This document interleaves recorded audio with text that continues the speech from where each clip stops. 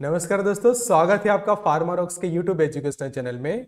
तो आज की जो मॉडर्न लाइफस्टाइल है, उसके अंदर हर कोई चाहता है कि उनके हेयर जो है वो काफ़ी अच्छे रहें। वो जो है वो अलग अलग हेयर स्टाइल बना सके कि चाहे वो मेल है या फीमेल है, वो चाहते हैं कि उनके बाल जो है वो काफ़ी अट्रैक्टिव दिखे और वो अलग अलग तरह की हेयर स्टाइल जो है वो बना सके। कि जैसे हम यहाँ पे ये जो वीडियो में देख रहे हैं, उस तरह से जो पर्सन है, वो अलग अलग हेयर स्टाइल सेट कर सकता है। अलग अलग हेयर को लुक देख सकता है, पर हर कोई ये जो है वो नहीं कर सकता बिकॉज़ कुछ ऐसे हेल्थ प्रॉब्लम होते हैं कि जिसके कारण आप अच्छे से हेयर स्टाइल नहीं बना सकते और अलग अलग प्रॉब्लम्स क्रिएट होते हैं। जैसे कि यहाँ पे हम सबसे पहला प्रॉब्लम हम देखें तो आपके जो बाल है वो बहुत ज़्यादा जो है वो जड़ने लगते हैं हेयर फॉल जो है वो होने लगा है। फिर बाल जब आप धोते हैं मतलब कि हेयर वॉश करते हैं, तब वो जो बाल है वो जड़ने लगते हैं, वो टूटने लगते हैं। फिर तीसरा हम प्रॉब्लम देखिए तो आपके बाल काफ़ी ज़्यादा कमज़ोर हो गए हैं और बालों को संवारते वक्त भी वो टूटने लगते हैं। जैसे आप कंगी यूज़ करते हैं तो जब आप बाल संवारते हैं तो उसके बाद ये जो कंगी होती है, उसमें काफ़ी ज़्यादा बाल जो है वो इकट्ठा हो जाते हैं कि चाहे वो मेल है या फिर वो फीमेल है। और बहुत ज़्यादा हेयरफॉल का प्रॉब्लम हो रहा है, गंजापन जैसा हो रहा है और बालों में रूखापन देखने को मिल रहा है और वो डैमेज हो रहे हैं। तो ये जो सभी हेल्थ प्रॉब्लम या फिर जो सिम्टम्स है, वो इंडिकेट करते हैं कि आपको हेयर फॉल या फिर हेयर लॉस की समस्या हो सकती है। तो चलिए सीखते हैं डिटेल में आज के वीडियो में और जानते हैं हेयर फॉल के बारे में और ये जो अलग अलग टॉपिक है, वो डिटेल में कवर करेंगे हम आज के वीडियो लेक्चर में और जानेंगे कि हेयर फॉल क्या है और कैसे हम उसको सॉल्व कर सकते हैं। तो जो हेयर लॉस हो जाता है मतलब कि कंप्लीटली बाल जड़ जाते हैं, कि जिसको हम एलोपेसिया कहते हैं तो वो मेडिकल कंडीशन हो जाती है एलोपेसिया और वो काफ़ी सारे रीजन से होती है, पर जब वो शुरुआत के स्टेजेस के अंदर होती है तो उसको हेयर फॉल कहा जाता है कि जो बाल अभी तक सिर्फ़ और सिर्फ़ जड़ रहे हैं तो वो प्रॉब्लम को हम सॉल्व कर सकते हैं। तो जो हेयर लॉस होता है या फिर हेयर फॉल होता है, कि जिसको बाल जड़ना कहते हैं हम, फिर बाल जो है वो आपके जड़ने लगते हैं कंप्लीटली जो उसके रूट होते हैं, वही से ही निकलने लगे हैं, और आपके बार जो है वो कमज़ोर होकर टूटने लगे हैं तो ये जो सिम्टम है, वो ये प्रॉब्लम के अंदर डेवलप होते हैं। तो यहाँ पे मैं वीडियो के बेस में बताना चाहूँगा कि जैसे हम यहाँ पे आज हेयर फॉल के बारे में सीख रहे हैं, ऐसे ही आपको बहुत सारी बीमारियों के बारे में सीखना है, उनके उपचार के बारे में सीखना है तो हमारी जो न्यू बुक है डिसीज एंड ट्रीटमेंट उसको आप ज़रूर से ऑर्डर कर सकते हैं। तो ये जो बुक है, उसको ऑर्डर करने के लिए आप हमें दिए गए नंबर पे व्हाट्सएप कर सकते हैं। तो टॉपिक पे वापस आते हैं। और समझते हैं कि जो हेयरफॉल हो रहा है, कि बाल आपके जड़ रहे हैं, उसके रीजन क्या हो सकते हैं? कौन से से अलग अलग कारण है कि जिसके कारण ये प्रॉब्लम हो सकती है? तो सबसे पहले एक जेनेटिक फैक्टर रहता है और एक फैमिली हिस्ट्री भी यहाँ पे जो है वो इन्वॉल्व होती है। फिर नेक्स्ट हम देखें तो जो स्ट्रेस है आपके लाइफ के अंदर तो स्ट्रेस के कारण भी ये प्रॉब्लम जो है वो डेवलप हो सकती है कि आपको काफ़ी ज़्यादा स्ट्रेस है, आप एनजाइटी फील कर रहे हैं डिप्रेशन जैसा फील कर रहे हैं तो भी ये प्रॉब्लम आपकी लाइफ में हो सकती है।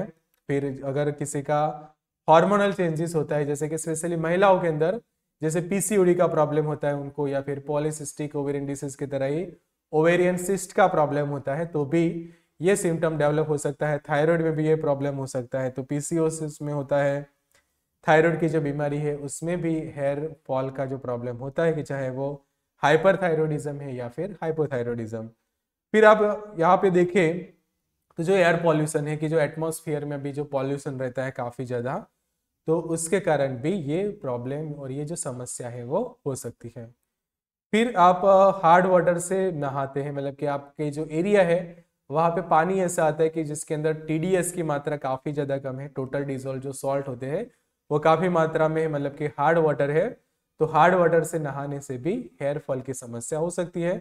फिर जो अंदर से जो प्रॉब्लम होता है कि जो बाहर से तो बाल आपके कमज़ोर है, पर अंदर से क्यों कमज़ोर आ रहे हैं तो उसका रीजन होता है न्यूट्रिशनल डेफिशिएंसी की जो बालों के लिए ज़रूरी जो न्यूट्रिशन होता है, वो आपको सही से नहीं मिल रहा है तो भी ये प्रॉब्लम हो सकता है। जैसे कि रिबोफ्लेविन विटामिन आपको सही से नहीं मिल रहा है बायोटीन है फॉलेट है बी ट्वेल्व है, ये सभी विटामिन की डेफिशिएंसी है तो भी हो सकता है।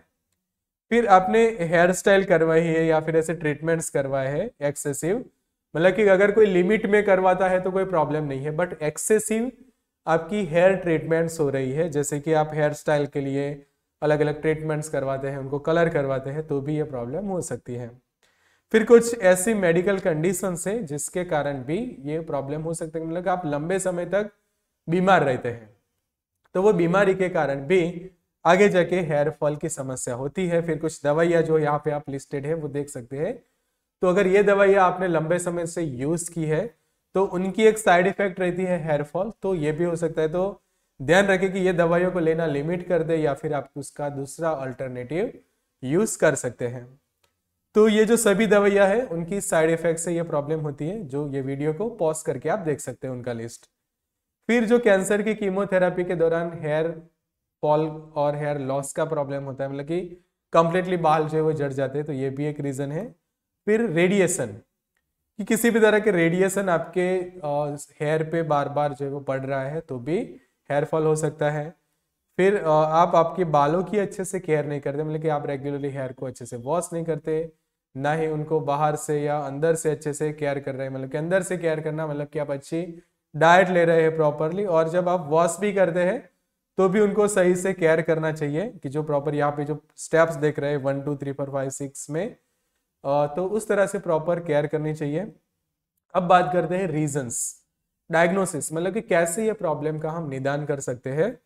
तो यहाँ पे हम देखिए तो सबसे पहले पेशेंट की मेडिकल हिस्ट्री चेक करना ज़रूरी है, उसके बाद फ़िज़िकल एग्जामिनेशन की उसको अच्छे से चेक करें कि समस्या क्या है। क्वेश्चनरीज भी पूछ सकते हैं उसको मेडिकल हिस्ट्री काउंसलिंग के दौरान आपको अलग अलग सवाल पूछना यहाँ पे ज़रूरी बनता है कि जिससे एग्जैक्ट रीजन पता लगा सकेंगे आप। फिर आ, कोई बीमारी है या नहीं या फिर अंदरूनी कोई प्रॉब्लम है तो उसके लिए ब्लड टेस्ट कराना ज़रूरी है। फिर बाल कितने मज़बूत है उसलिए हेयर पुल टेस्ट आता है कि जब बाल होते हैं उसको खींच के उनका टेस्ट किया जाता है। तो जो जो ट्रेन स्टाफ होता है वही ये टेस्ट जो है वो परफॉर्म करता है। जो स्काल्प का जो अंदर का जो हमारा बाग होता है वहाँ पे बायोप्सी की जाती है वहाँ से सैंपल लेके उसको जो है वो चेक किया जाता है। ये भी एक ट्रेन स्टाफ के द्वारा की जाती है। फिर जो हमारे हेयर होते हैं, बाल होते हैं, उनको माइक्रोस्कोप के नीचे चेक किया जाता है, बालों की क्वालिटी को चेक करने के लिए।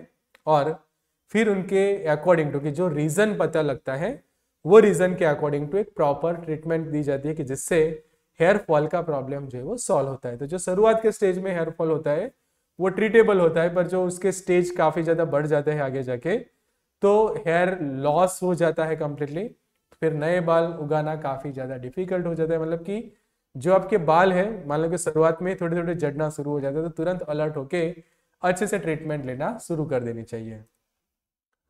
तो ट्रीटमेंट में हमने देखा कि पहले तो प्रॉपर हेयर की केयर करनी चाहिए कि यहाँ पे जो स्टेप्स है, उस अकॉर्डिंग टू तो अच्छे से हेयर करे, के बालों को वॉश भी करे शैम्पू कर सकते हैं कंडीशनर कर सकते हैं, और कौन से प्रोडक्ट अच्छे हैं, वो भी हम वीडियो में आगे डिस्कस कर देंगे। फिर एक रीजन है स्ट्रेस कि आप सब कुछ सही है, पर लाइफ में स्ट्रेस आपका काफ़ी ज़्यादा है। तो स्ट्रेसफुल लाइफ के कारण भी हेयर फॉल का प्रॉब्लम हो सकता है। तो उस स्ट्रेस को कैसे दूर कर सकते हैं? तो आप अच्छे से योगा मेडिटेशन वगैरह जो है वो कर सकते हैं। फिर हेयर प्रोटीन के लिए अलग अलग सीरम्स आते हैं। मतलब कि बाल जो कमज़ोर हो जाते हैं तो उनको एक प्रोटीन की ज़रूरत होती है। तो वो प्रोटीन आपको जो प्रोटीन सीरम्स होते हैं, कि मान लो कि कोई ऑयल यूज़ नहीं करता बट ऑयल के रिप्लेसमेंट में आप सीरम भी यूज़ कर सकते हैं। जैसे कि आप यहाँ पे एक प्रोडक्ट देख रहे हैं, वो यूज़ की जा सकती है। फिर hair scalp serum Mamaearth का भी आता है। हेयर मास्क वगैरह के जो अलग अलग प्रोडक्ट आते हैं, कि जो अलग अलग जो ब्रांडेड कंपनीज़ है, वो हेयर मास्क बनाते तो उनमें से कोई भी आप यूज़ कर सकते हैं। फिर हेयर ऑयल्स यूज़ करने चाहिए, जैसे कि इंदू लेखा है, सेसा करके, कि जिससे रेगुलर आप ऑयल मसाज करते हो। तो भी, बालों को जो न्यूट्रिशंस मिलता है, और अंदर से जो है वो उनको मजबूती देने में ये हेल्प करता है। तो यहाँ पे हम हेयर ऑयल के अलग अलग ऑप्शंस दिख रहे हैं, वो यूज़ किए जा सकते हैं। अब बात करते हैं दवाइयों के, कि जिसके अंदर एक रीगेन करके सॉल्यूशन आता है फाइव परसेंट के स्ट्रेंथ में कि जिसके अंदर जो मेडिसिन रहती है, वो रहते हैं मिनोक्सीडियल का एक टॉपिकल सॉल्यूशन रहता है। तो वो स्पेशली जो स्काल्प का रीजन है या फिर जहाँ से हेयर फॉल हो रहा है, वहाँ पे ये जो है वो अप्लाई करना होता है। तो यहाँ पे पीछे उसकी एक प्रॉपर इंस्ट्रक्शन दी हुई होती है तो उसके अकॉर्डिंग टू ये जो है वो आपके बालों में अप्लाई करना। तो जैसे कि यहाँ पे डायरेक्शन लिखी है कि सबसे पहले वन एम आपको मॉर्निंग में एंड वन एम नाइट में अप्लाई करना है स्कैल्प में या फिर जहाँ पे हेयर फॉल हो रहा है। और twice daily use of Regaine solution for four और मोर मंथ्स में be require to see the result मतलब कि आपको लंबे समय तक मिनिमम चार महीने तो यूज़ करना ही पड़ेगा, तब उसका एक प्रॉपर रिज़ल्ट मिलता है। तो फिर से मैं आपको रिमाइंडर देना चाहूँगा कि जो हमारी बुक है, उसको आप ज़रूर से ऑर्डर कर सकते हैं। ये बुक को ऑर्डर करने के लिए आप हमें दिए गए नंबर पे व्हाट्सअप कर सकते हैं। तो आगे समझते हैं जो मेडिसिन के जो अलग अलग ऑप्शन है कि जिसके अंदर new hair for you five percent solution minoxidil का, वो भी यूज़ किया जा सकता है। फिर फिनास्टेराइड के जो टैबलेट्स आते हैं वन एम की स्ट्रेंथ में ये अवेलेबल होते हैं। कि जिसका एक मार्केटेड फॉर्मुलेशन हम फिनाक्स देख रहे हैं कि जिसका डोज रहता है वन एमजी दिन में, एक ही बार।